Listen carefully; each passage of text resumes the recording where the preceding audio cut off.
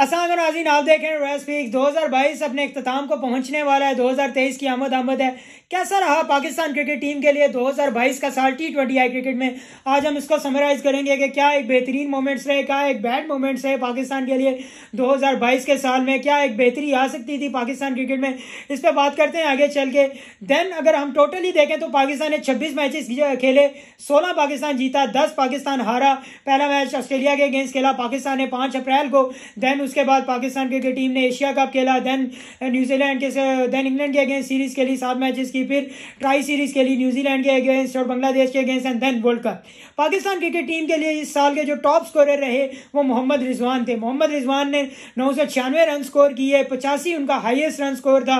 बेहतरीन परफॉर्मेंस रही उनकी इस साल।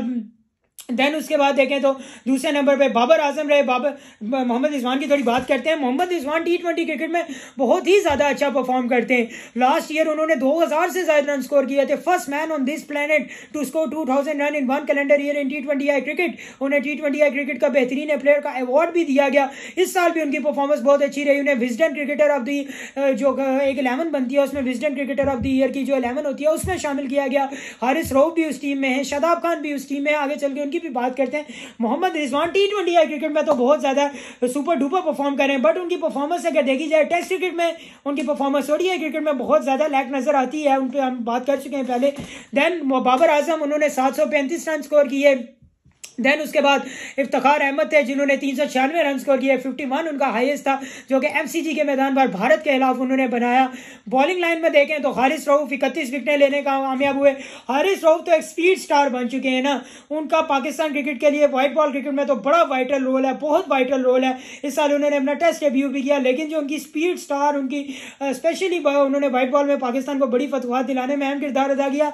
लेकिन दो मौकों पर लैग भी करके एक इंडिया का मैच एशिया कप में जहाँ आखिरी, आखिर में उन्होंने सेकंड लास्ट ओवर में पांड्या ने उन्हें स्कोर किए और देन वर्ल्ड कप के मैच में, लेकिन वर्ल्ड कप के मैच की खैर है, वो जो विराट कोहली ने वो जो दो छक्के मारे ना, वो कोई और प्लेयर नहीं मार सकता था। वो दो छक्के एक्स्ट्रा ऑर्डिनरी शॉट्स थी। वो उस तरह के शॉट्स बड़े कम देखने को मिलते हैं। मेलबर्न के मैदान पर स्ट्रेट डाउन द ग्राउंड पचासी मीटर का छक्का, वो भी इतने प्रेशर गेम में अनबिलीवेबल देन शादाब खान ने 25 आउट किए Shadab Khan most valuable player है पाकिस्तान टीम के। बैटिंग करते हैं बॉलिंग करते हैं फील्डिंग करते हैं। क्या एक एनर्जेटिक प्लेयर है वो पाकिस्तान के लिए। टी ट्वेंटी आई क्रिकेट में उनकी जितनी तारीफ़ की जाए, उतनी ही कम है। देन उसके बाद देखें तो फिर मोहम्मद नवाज़ रहे बाईस विकटों के साथ। मोहम्मद नवाज़ बेचारे कुछ मुश्किल मौक़ों पर उन्हें काफ़ी एक सामना भी करना पड़ा, लेकिन बहुत अच्छी बॉलिंग कराई उन्होंने throughout the year favourite moment अगर देखा जाए तो कई एक मोमेंट्स आए, इंडिया को जो कराया वो एक बड़ा अच्छा मोमेंट था। मैं लेकिन मेरे लिए जो नसीम शाह ने दो छक्के मारे, वो बड़े इंपॉर्टेंट थे। जो उन्होंने शारजा के मैदान पर दो छक्के मारे। वो एक बहुत मेमोरेबल मोमेंट था। मेरे लिए अगर बात की जाए तो इस साल में वो सबसे मेमोरेबल मोमेंट था। वो जो दो छक्के आसिफ अली के झगड़े के बाद लगे ना, जिस तरह एक जावेद भाई की याद उन्होंने ताज़ा की, जैसे उन्होंने चेतन शर्मा को शाहजहा के मैदान पर ही छक्का मारा था आखिरी बॉल पे। देन जो साउथ अफ्रीका और नैदरलैंड का मैच था वर्ल्ड कप के में वो बड़ा इंटरेस्टिंग था, क्योंकि वो उस पर सारी दारो मदार ही उस पर था। और जब वो वेंडर मरवे ने जो कैच पकड़ा, वो डेविड मिलर का जो कैच था, वो एक बड़ा एक्स्ट्रा ऑर्डिनरी मोमेंट था इस साल पाकिस्तान के लिए, क्योंकि उसके बाद पाकिस्तान ने बांग्लादेश को लाया और फिर देन पाकिस्तान सेमीफाइनल क्वालिफाई कर गया। वहाँ हमने न्यूजीलैंड को लाया फिर फाइनल में नो डाउट हम इंग्लैंड से हार गए।